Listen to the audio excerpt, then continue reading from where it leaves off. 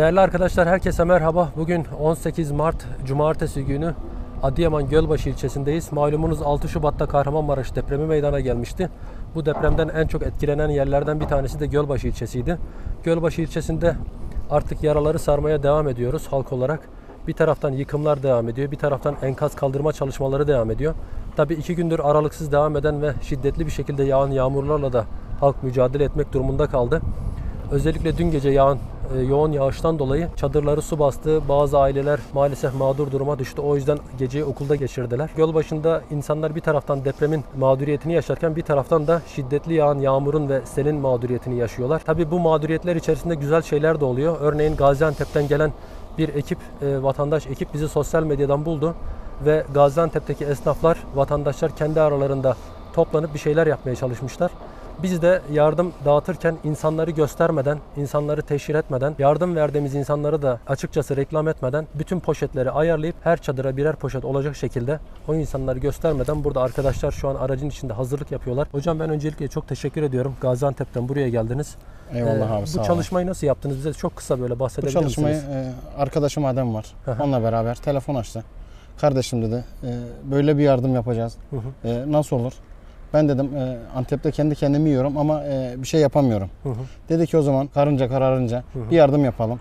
Ben WhatsApp'tan, sosyal medya üzerinden paylaştım. Eşimiz, dostumuz, Allah onlardan yüz bin kere razı olsun. Önce Rabbimiz, ondan sonra o iyi insanların yüzü hürmetini yaşıyoruz biz. Hı hı. Biz aramızda herkes için e, bir şeyler toparlamaya çalıştık. Anlatması zor ama vallahi e, çok zor Mehmet abi. Söyleyecek kelime bulamıyorum. Anladım. Allah herkesten razı olsun. Çok çok teşekkür ederim. Buradaki yardımlarımız da yerine ulaşıyor çok şükür. hı. E, Orada kalan e, arkadaşlarımız da paramızın hani nereye gitti, nereye gitmeyeceğini hani az çok görecekler.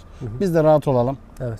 O kadar Mehmet abi. Evet arkadaşlar ben herkesin huzurunda emeğe geçen herkese çok teşekkür ediyorum. Burada bizzat biz çadırları dolaşaraktan insanlara bizzat e, birinci elden teslim etmeye çalışıyoruz. Amaç bir nebze de olsa bu mağduriyetleri yaşayan insanların yaralarına merhem olmak. Şu an Gölbaşı'ndan aktaracaklarımız bu kadar. Dediğim gibi Gölbaşı'nda depremin mağduriyeti bir yandan devam ederken iki gündür de aralıksız devam eden yağmurlardan dolayı şu an vatandaşlar ciddi sıkıntı yaşıyorlar. Evet Gaziantep ekibinin getirmiş olduğu yardımlar Gölbaşı'nın en ara sokaklarında, en ücra sokaklarında dağıtılmaya devam ediyor. Şimdi Asfalt Mahallesi, Hürriyet Mahallesi mevkiindeyiz. Burada da yine ara sokaklarda yardımların dağıtımı devam ediyor. Gördüğünüz gibi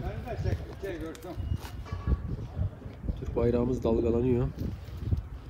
Depremin ilk günlerinde özellikle e, Adıyaman Gölbaşı kavşağında çok ciddi manada çevre illerden yardımlar geliyordu. Gaziantep, Urfa, Diyarbakır taraflarından yardımsever vatandaşlar yardımlarını Gölbaşı'na getiriyorlardı ama e, şehrin içerisine giremiyorlardı. O yüzden zaman zaman ben hem sosyal medyadan hem bizzat kendim de şahit oldum. E, bizden yardım istiyorlardı. Nereye gideceklerini, nereye dağıtacaklarını bilmiyorlardı. Biz de tabii elimizden geldiğince onlara rehberlik edip e, özellikle ücra sokaklara merkezi değil de ilk etapta akla gelmeyecek ara mahallelere kadar gidip yardımları dağıtmaya çalışıyorduk. Şu anda da yine bir e, ara mahalledeyiz ve gelen yardımları arkadaşlarla beraber dağıtmaya devam ediyoruz.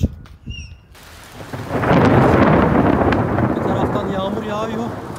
Bir taraftan da Gaziantep ekibi erzakları dağıtmaya devam ediyorlar. Evet.